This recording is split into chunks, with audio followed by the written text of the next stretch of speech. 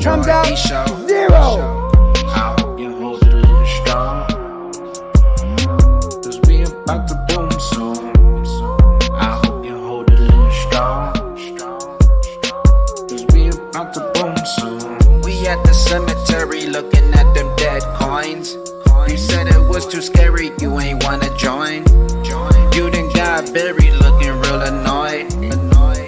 We like fairies cause we moon boys. My J still cherry, we just deployed.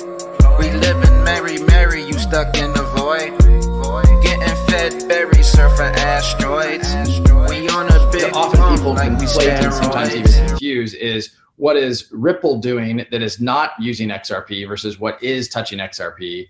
And so what we're seeing is the early adopters who are using the product we call on-demand liquidity, which uses XRP to fund real-time liquidity. I will say I dialed into part of actually Zoom was working for me watching Michael Saylor. You know, he said something at the end there about uh, he doesn't think crypto works well for payments because it's you know I think you know it's slower, and I think that's a very Bitcoin centric point of view. The reason why we use XRP in the payment flows and the reason why it's worked so effectively for us is because XRP, by com- contrast, is so much faster and so much cheaper on a per transaction basis.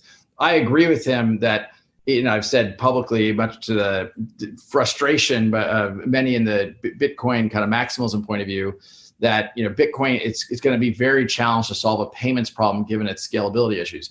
By the way, and I think you know this, and I I will say it again. I am long Bitcoin, and so when I say stuff like that, the the the, the trolls of the world come out and say you know all kinds of stuff about my view on Bitcoin. And so when I say stuff like that, the the the, the trolls of the world come out and say the, the trolls of the world come out and say you know all kinds of stuff about my view on Bitcoin. I'm long Bitcoin. I'm a believer, but it's not going to be it's not going to be the solution for payments.